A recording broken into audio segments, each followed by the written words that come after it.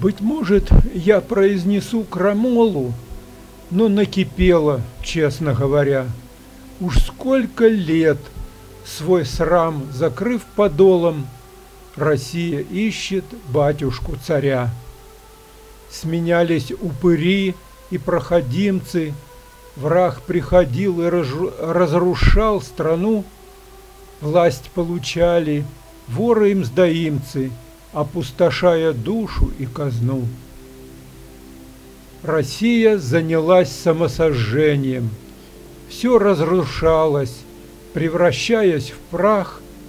Двадцатый век закончен поражением на всех без исключения фронтах.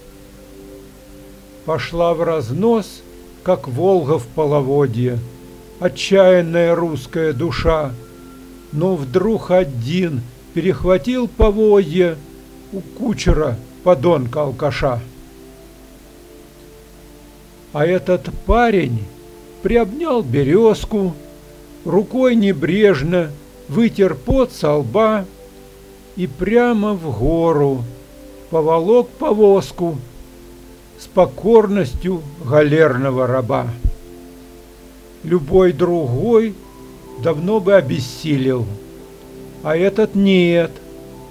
Без отдыха и сна упорно тащит на себе Россию – и оживает на глазах страна.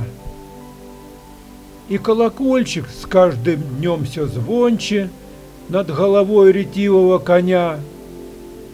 Я этот стих нарочно не закончу.